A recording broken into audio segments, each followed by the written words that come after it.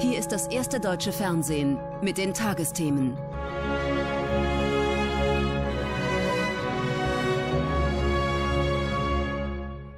Guten Abend. Diese Woche beginnt in allen Bundesländern wieder ein bisschen mehr normales Leben, ein bisschen mehr zurückgewonnene Freiheit. Und dennoch steigt die Zahl derer, denen das nicht reicht. Bei den Corona-Protesten versammeln sich verärgerte Eltern, Esoteriker, Impfgegner, Hooligans mit Radikalen aus der linken und rechten Szene. Menschen, die wenig miteinander gemein haben, jetzt aber eines vereint. Sie verachten die staatlichen Regeln zur Bekämpfung des Virus. Dagegen zu protestieren, ihr gutes Recht. Und doch könnte sich da ein gefährliches Gemisch zusammenbrauen. Denn Verfassungsschützer, Regierende und Verantwortliche der Polizei, sie alle fürchten, dass vor allem die Extremen von rechts außen diese Wut der Straße kanalisieren und zu ihren eigenen Zwecken nutzen könnten. Die größten Demos waren gerade am Wochenende, aber in Sachsen wird auch heute Abend demonstriert und dort war Kathi Obermann. Montag 17 Uhr in Leipzig, klassische Demozeit schon seit der Wende.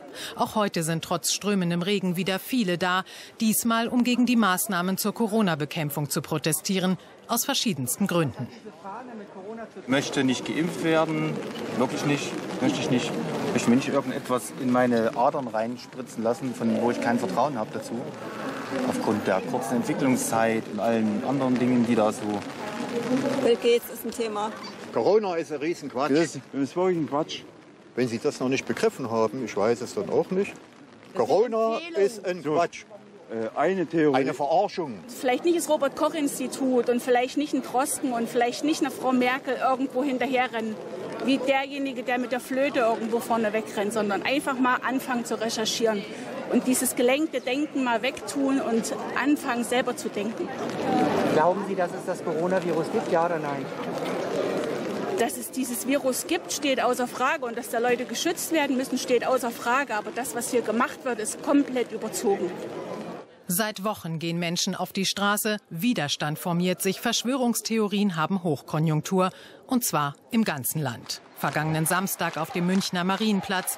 Zwei bis 3.000 Demonstranten machen ihrem Ärger Luft. Unter ihnen wieder viele Impfgegner, die gegen einen befürchteten Corona-Impfzwang mobilisieren. In dem Moment, wo ich mich impfen lassen muss, um Grundrechte wahrnehmen zu dürfen, ist dieses Grundrecht nicht mehr gegeben.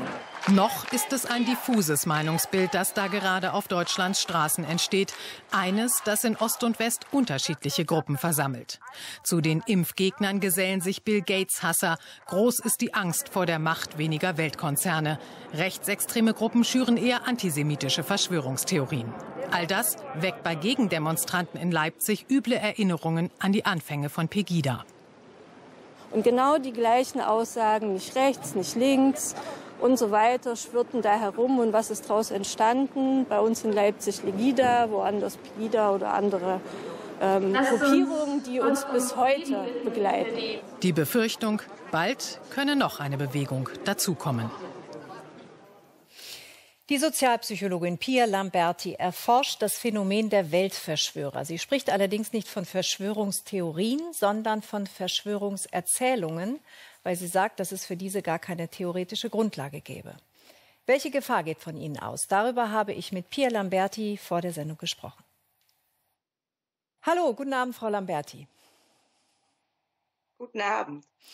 Es sind ja die verschiedensten Gruppen, die jetzt auf die Straße gehen, auch heute Abend wieder. Warum erfahren diese Gruppen gerade jetzt einen so großen Zulauf?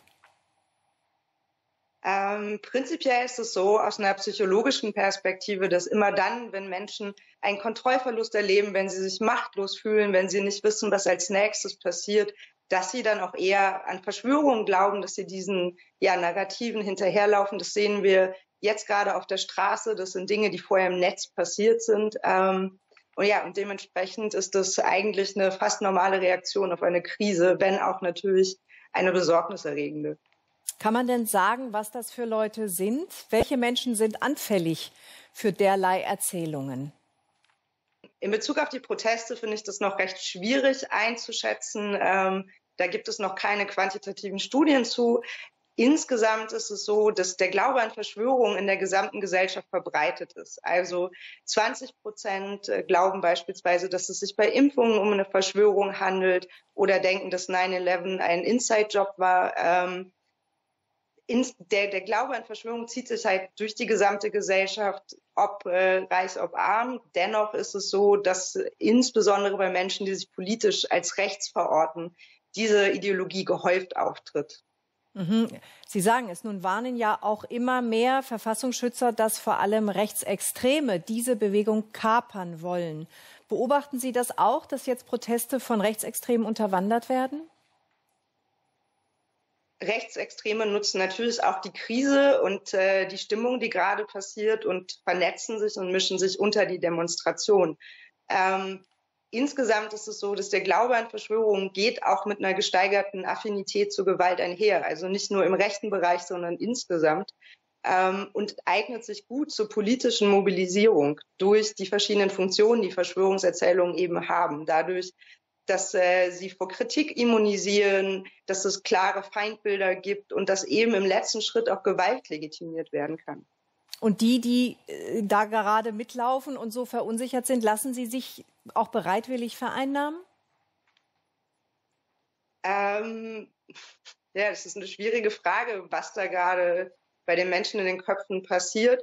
Ähm, ich vermute, dass äh, ja die aktuelle Situation ist für viele Menschen einfach auch bedeutet Stress, bedeutet Ängste, Unsicherheiten der Unmut auf die Regierung wird dann eben in diesen Feindbildern entladen. Und da kann es natürlich noch dazukommen, wenn gerade Prominente diese Thesen verbreiten, dass das Vertrauen in diese Prominenten groß ist und dass dann nochmal diesen Thesen mehr geglaubt wird.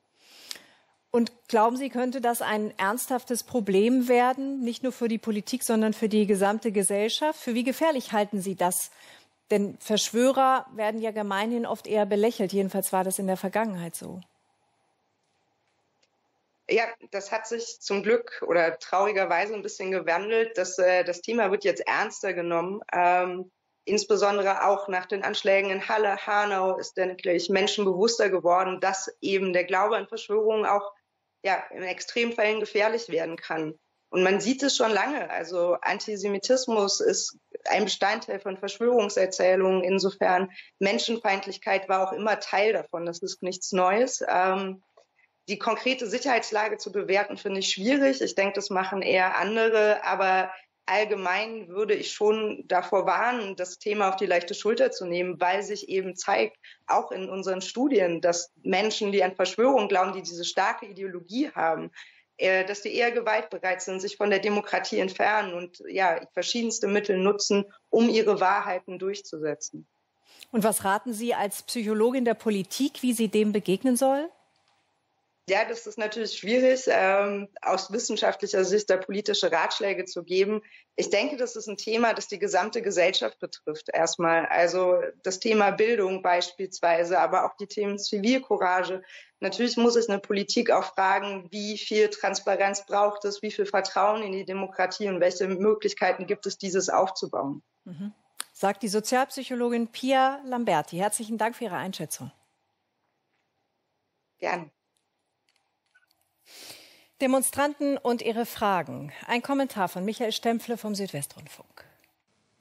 Wenn Bürger demonstrieren und auch wenn sie eine Minderheit darstellen, dann ist das ihr gutes Recht. Jetzt sagen viele, ja, da mischten Verschwörungstheoretiker und Nazis mit und das sei gefährlich. Ja, natürlich ist das gefährlich. Wer gemeinsam mit Nazis demonstriert, spuckt auf unsere Demokratie und all die Errungenschaften. Und doch müssen wir uns erst die Frage stellen, warum sind einige so aufgebracht? Da spielen Existenzängste eine Rolle. Studierende, die ihre Jobs verloren haben, Berufstätige, die keine Betreuung für ihre Kinder finden.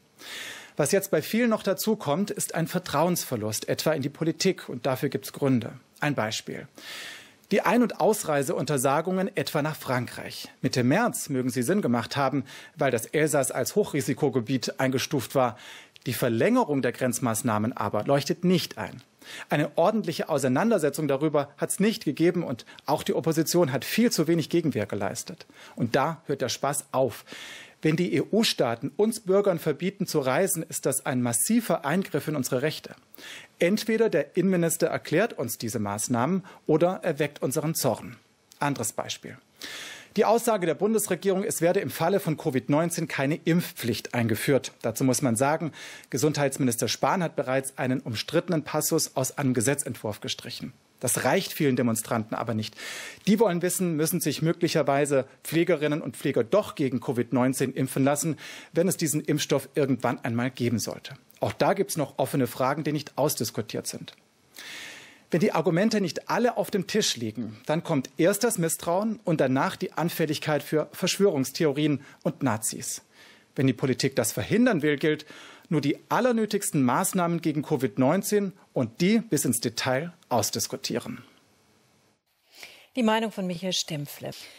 Wir haben die Sendung mit Verschwörungstheorien begonnen und beenden sie gewissermaßen mit einem Gegengift. Die Philosophin Hannah Arendt verachtete fest betonierte Meinungen.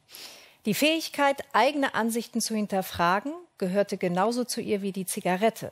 Das Inhalieren und Ausrauchen brauche sie zum Fassen der Gedanken. Geboren 1906 als Kind jüdischer Eltern in Hannover, erkannte Hannah Arendt schon früh die Gefahr, die von den Nationalsozialisten ausging.